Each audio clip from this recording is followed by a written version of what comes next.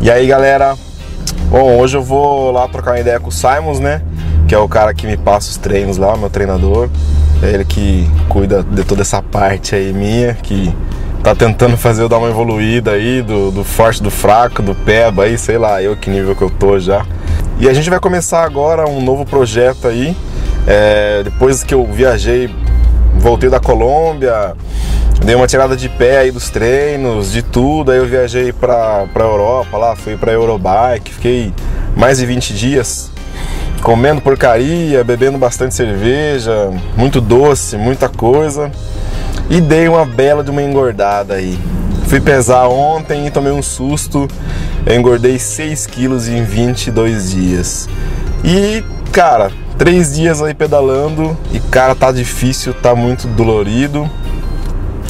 E o Simons e eu a gente teve a ideia de fazer um projeto de projeto de emagrecimento e ver se dá uma evoluída aí agora, mostrar para vocês como que é essa fase aí da recuperação, da volta. Lógico que dessa vez a gente vai contar com uma contar com uma nutricionista, ela vai ajudar a gente nisso aí, vai passar uma dieta para mim, nada muito elaborado, quero que vocês acompanhem também para vocês verem que não é um bicho de sete cabeças isso. Mas a gente vai tentar ver se eu consigo emagrecer aí. Além desses 6 quilos que eu ganhei, né? Que não estavam em mim, eu trouxe da Alemanha comigo esses quilos aqui a mais. Eu vou tentar perder mais uns 5, então ao total serão de 11 a 12 quilos. Aí eu chego no meu peso ideal de acordo com a minha altura, que eu tô bem longe do meu peso ideal com a altura que eu tenho. Então a gente vai tentar ao longo desses meses aqui tentar chegar até janeiro com esses 11 ou 10 quilos a menos aí e aí começar mais uma vez, começar não, né? Continuar os treinos aí que a gente já vem fazendo, já vem dando um resultado legal, tenho gostado bastante. É, e está sendo um projeto muito bacana esse acompanhamento de uma pessoa que trabalha e tem um tempinho livre para fazer um treino aí mais ou menos aí. E nas competições é isso que eu quero passar para vocês. Dessa vez a missão vai ser secar, secar o Rafael tirar esses 6 quilos aqui e mais uns 5 aí, então uns 10, 11 quilos, para ver se a gente chega no peso ideal e pedalar um pouquinho melhor, né? Subir um pouquinho melhor, porque tá complicado, velho. Nossa. Então acompanha aí, eu vou lá agora fazer tirar as medidas, né? Das gorduras aqui, que tá bem feia a coisa. E aí a gente depois vai trocar uma ideia com a nutricionista e tal, ver o que ela vai falar em relação a essas percas de peso aí. Então, acompanha aí agora o novo projeto emagrecimento do Rafa aí.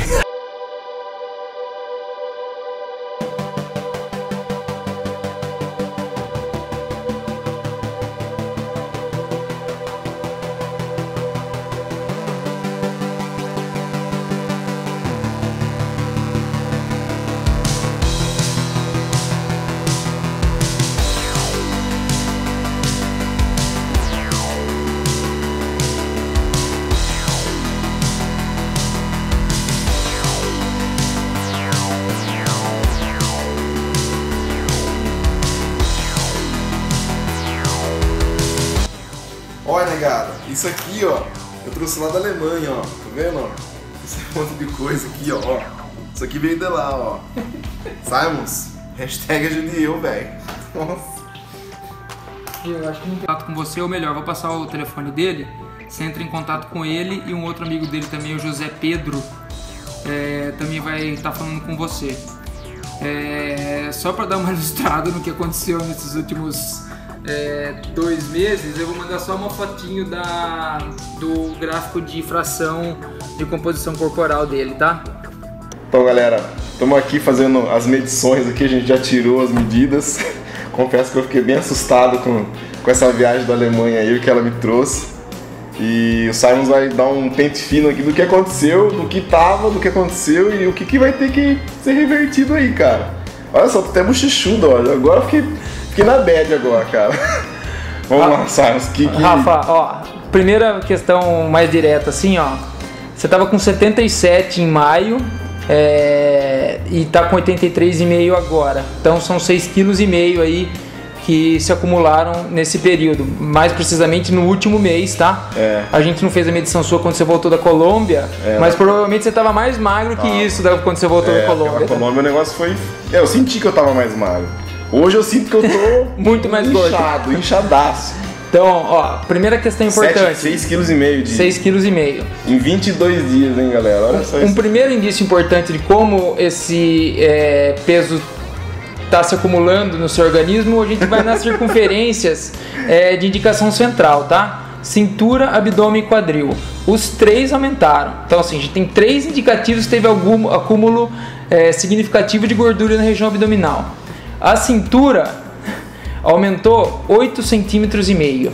Nossa. O abdômen, que é a maior circunferência central, aumentou 6 centímetros e meio.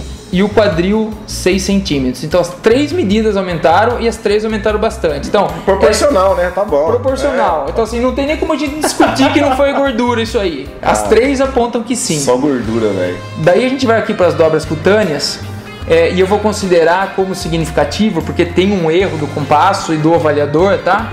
Só as dobras que aumentaram mais de 2 milímetros de gordura.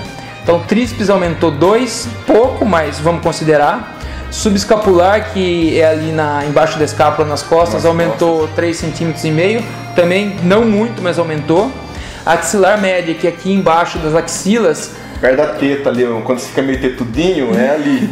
que já é uma medida mais central, tá? Certo. Aumentou 4 milímetros e meio e daí vamos para as medidas centrais. Suprelica medial, que é o pneuzinho, Nossa, a suprelica anterior, que é aqui em cima da crista ilíaca frontal e abdominal, que é central.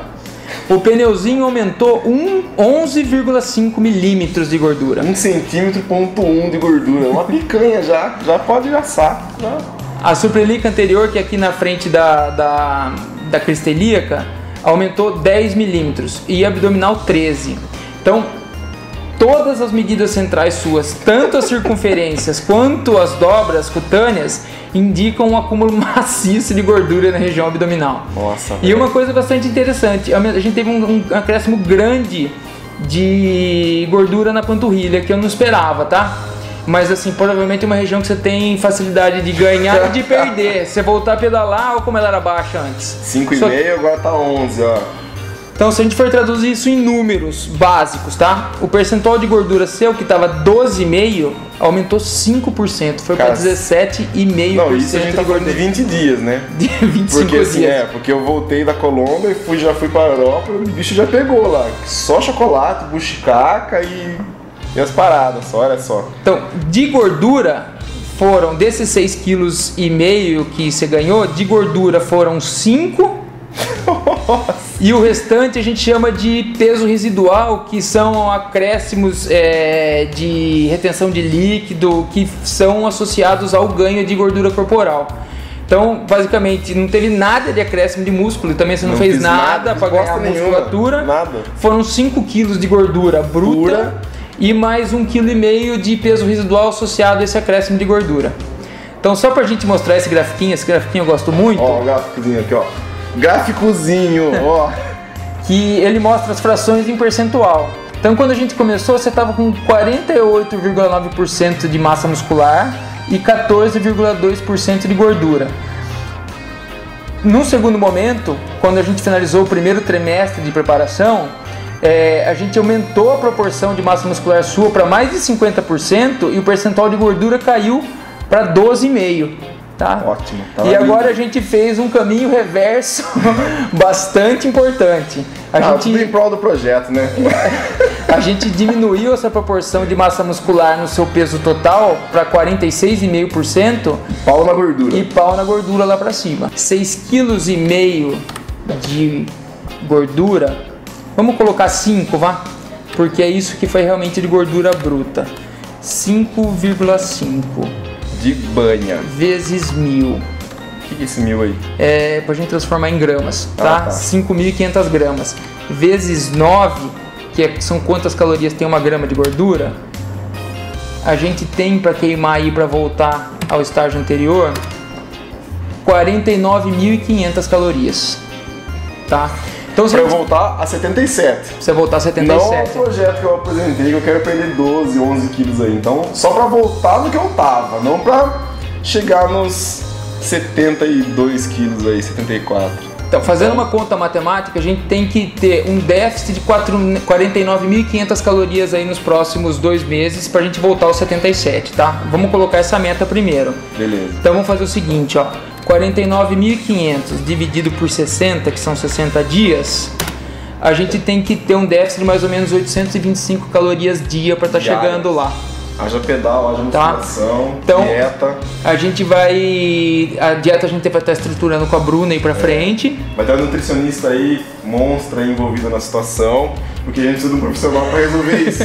precisa ou, adequar bem é, isso ou que é agora. Faca, ou é nutricionista. Então, não, tô brincando. A nutricionista, a Bruna também aqui da Bioeco, ela vai dar uma ajuda pra gente aí pra mostrar pra vocês que além de, de ganhar, você também consegue perder aliando exercício, uma boa alimentação, você faz o que você gosta, porém tem os seus sacrifícios ali, galera. Então... E uma coisa importante, quando você citou nutrição, Rafa, é o seguinte.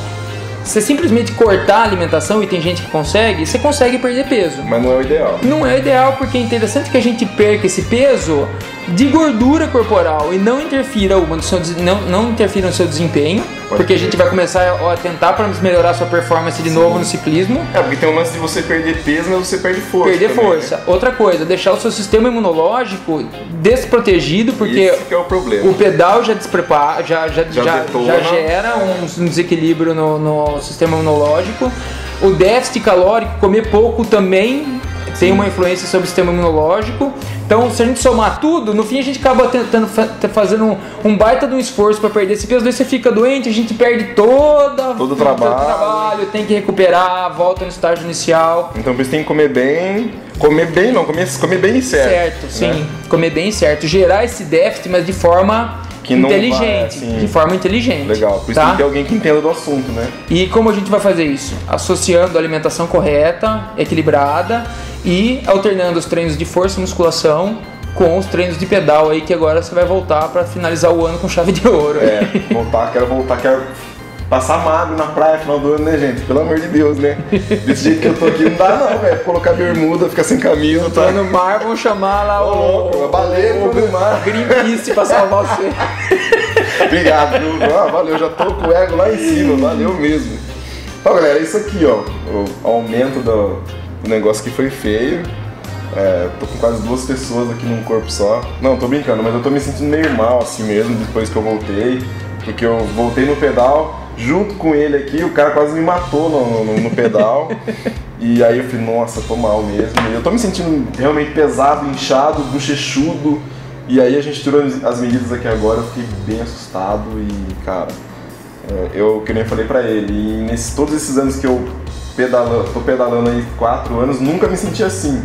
Tipo, né? É ter essa volta agora, né? Então, cara, vamos aí. Não, e o primeiro passo importante, Rafa, é, é, é, eu acho que é esse, é você se sentir mal com a situação Sim, que você tá. exatamente. Porque que... se tivesse confortável, nem não, aqui você ia estar. Tá. Lógico que não, ia estar tá comendo chocolate ainda, bebendo cerveja, não, cara, não. Eu gosto muito de pedalar, quero me sentir bem pedalando e quero estar bem com o meu corpo. Acho que todo mundo quer isso, então então fica aí, galera. Acompanha aí a nossa saga do emagrecimento aí da volta do Rafa.